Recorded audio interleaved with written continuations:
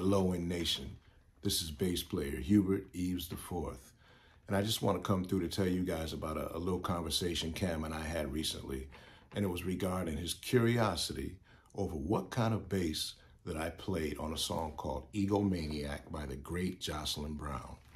And that song was recorded like way back, like 1987 back. I was so surprised that he dug that one up, but that was really cool, Cam. Go ahead, brother.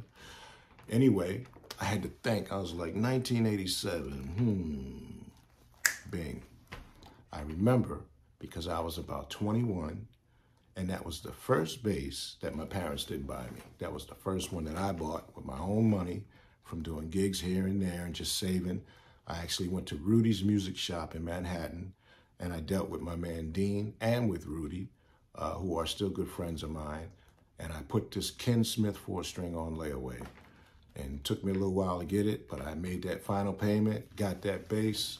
And when I would show up to, you know, various studios and on gigs for sessions, people always commented on that bass. Man, that bass is beautiful. It sounds so great. Looks so great. What kind of bass is it? Wow, Ken Smith, boom, boom. And I was so proud. I bought my first real bass and then I sold it. I said I sold it. I did you know how we do us, us bass players, guitar players, just musicians. You know, you you got an instrument, you get a little bored, you might try for something else, and then you realize you made a mistake. But fortunately for me, I sold it to a good friend of mine who still has it and he doesn't play it. And he said that he may be willing to let it go and it's going to come back to me. And when I do get it, just for you, Cam, I'm to put up a video of me playing Egomaniac.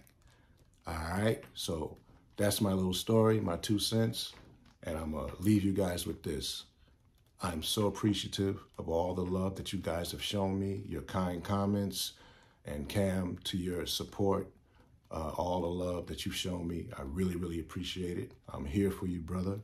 I'm wishing you all happy holidays, prosperity, and great health. This is Hubert Eaves IV, and I'm out. Peace.